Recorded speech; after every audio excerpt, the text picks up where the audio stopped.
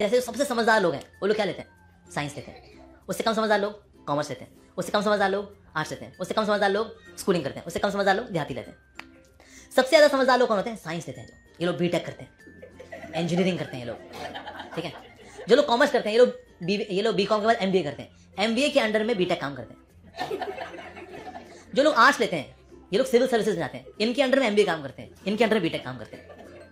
जो लोग सिर्फ़ स्कूलिंग की होते हैं, पढ़े वो पॉलिटिशियन बनते हैं। इनके अंडर में आई काम करते हैं। इनके अंडर में एमबीए काम करते हैं, इनके अंडर बी काम करते हैं।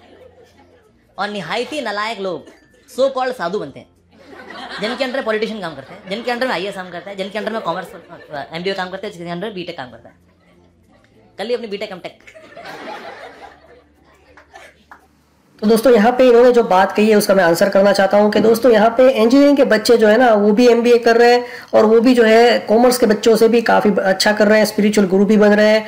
इवन आई आई के करने के बाद या तो एमबीए करने के बाद भी वो ये सब कर रहे हैं। आईएएस भी बन रहे हैं साथ ही साथ पॉलिटिशियन भी बन रहे हैं और जो है मिनिस्ट्री में बहुत बड़े लेवल पे काम कर रहे हैं। बुक राइटर बन रहे हैं स्टैंड अप कॉमेडियन बन रहे हैं।